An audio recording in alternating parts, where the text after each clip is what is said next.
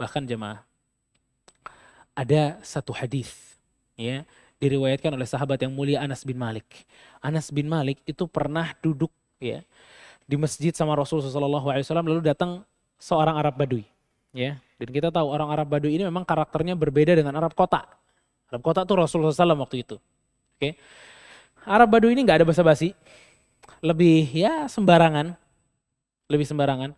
Ya kalau antum pernah dengar ada sahabat kencing di masjid, itu yang kencing tuh Arab Badui cuma. Dia emang tinggalnya di gunung, dia jarang mampir. Tapi sekalinya mampir dia beriman, dia nanya sama Rasulullah SAW. Ya, jadi keadaan mereka gitu. Bahkan waktu dia kencing di masjid aja, itu sahabat gedek banget sama orang itu.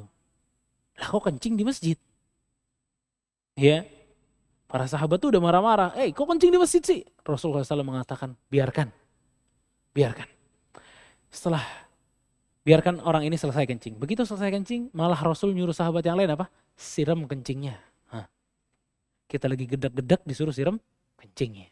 Sihir sama sahabat Rasul yang suruh. Dipanggil sama Rasulullah sini. Sesungguhnya ini adalah masjid. Ini buat zikir, sholat, dan baca Al-Quran. Nggak boleh kencing di masjid. Lihat, kelembutan Nabi kita alaihi salatu wassalam. Kata orang Arab Baduy ini, semoga Allah merahmati Muhammad dan tidak merahmati sahabat-sahabat Muhammad. Ya, karena dia dimarahi nama yang lain. Ya. Pak, ini tipenya. Oke, okay, tipenya. Kalau antum pernah dengar juga hadis ada seseorang yang datang ke Rasulullah SAW, terus datang tiba-tiba gitu ya, nanya, ya Rasulullah, kapan kiamat? Ajib. Nanya sholat kayak, nanya iman kayak, kapan kiamat? Kapan? Ya, orang ini nanya ke Rasulullah SAW kapan kiamat. Dan Rasulullah SAW jawab sama dia, Mada a'dat talaha yang disiapkan untuk hari kiamat apa? Kata Rasul. Ini orang Badu yang nanya. Rasul balikin dengan pertanyaan yang lebih kuat lagi. Yang disiapin untuk hari kiamat apa? Makanya barakallahu fikum jamaah.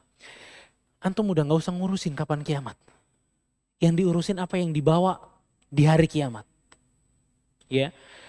Karena pertanyaan kapan kiamat ternyata udah pernah ditanya. Jawabannya kasih aja jawaban Rasul. Gak usah nebak-nebak, gak usah. Kasih aja jawaban Rasul SAW apa yang disiapkan untuk hari kiamat. Namun jawaban luar biasa. Dia bilang, ma'adatu syai'an ya Rasulullah. Dalam riwayat Ahmad ya. Aku tidak menyiapkan apa-apa ya Rasulullah. Illa hubbi lillahi rasulih. Kecuali cintaku kepada Allah dan kepada Rasulnya. Lihat tuh. Yang disiapin apa? Cinta. Kata Rasul Sallallahu Alaihi Wasallam, Anta ma'aman ahbabta. Kamu akan dikumpulkan dengan orang yang kamu cintai. Subhanallah kamu akan dikumpulkan dengan orang yang kamu cintai. Yang dengar hadis ini di situ Anas bin Malik. Siapa Anas bin Malik? Sahabat yang mulia Anas. Sahabat, bukan tabiin, bukan sahabat. Anas mengatakan apa?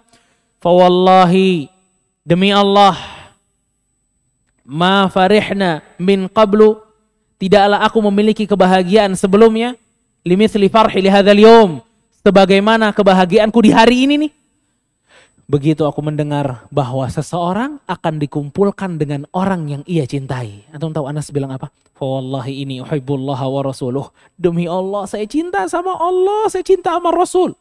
Dan saya cinta Abu Bakar, saya cinta Umar. Karena saya tahu amalan saya tidak mungkin menyaingi mereka. Namun saya harapkan dengan cinta saya kepada mereka, saya bisa berkumpul dengan mereka di surga. Subhanallah. Anas, Anas yang ngomong cinta sama Abu Bakar, cinta sama Umar. Biar bisa ngumpul bareng di surga sama sahabat.